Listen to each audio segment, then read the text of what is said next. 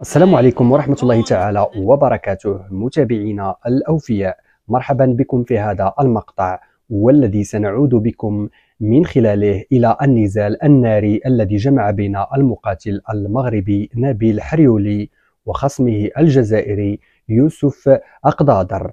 قبل الدخول في مجريات هذا النزال أتمنى ألا تنسوا الاشتراك في القناة وتفعيل زر الجرس ليصلكم دائما كل جديد. كما أتمنى ألا تنسوا الضغط على زر الإعجاب لنستمر دائما في نشر المزيد. إن شاء الله. نبيل حريولي هو صاحب القفازات الحمراء فيما خصمه الجزائري وصاحب القفازات الزرقاء. نبيل دخل يعني بضرباته القوية كما هو معتاد. شوف شوف شوف. واو واو لقطة جميلة. بوم بوم. نشوفوها يعني بسرعة. يا سلام. يعني حنا تنعرفوا يعني النزالات اللي كتكون ما بين مقاتلين مغاربه وآخرون من الجزائر يعني كتكون مباراة مقابلات عفوا دائما قوية. أوه هنا غيكون احتساب. واحد اثنين ثلاثة. يعني يوسف استطاع باش يتمم النزال.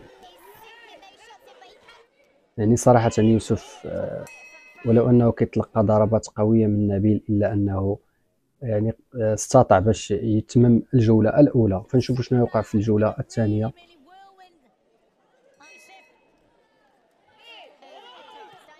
بوم. واو واو واو. نبيل ما شاء الله ينطلق دائما كالسهم. ما كيتراجعش يعني للخلف. شوف. هاي كيك.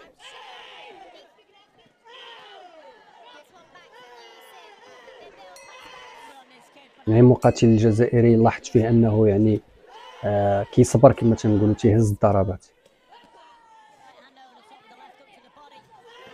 برافو عليه صراحة لأنه استطاع باش يعني لحد الآن استطاع باش ما يخسرش بالضربة القاضية ضد آه الأسد المغربي نبيل الحريولي فهذا في حد ذاته. يعني نقدروا نقولوا أنه حقق نتيجة إيجابية.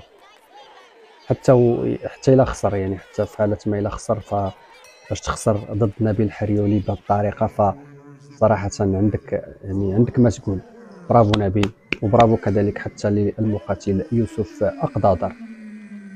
هكذا إذا انتهى النزال لصالح المقاتل المغربي ابن مدينة تازا نبيل حريولي إلى هنا نصل لنهاية هذا المقطع. نلتقي إن شاء الله في مقطع جديد. لا تنسوا الاشتراك في القناة ليصلكم دائما. كل جديد والسلام عليكم ورحمة الله وبركاته.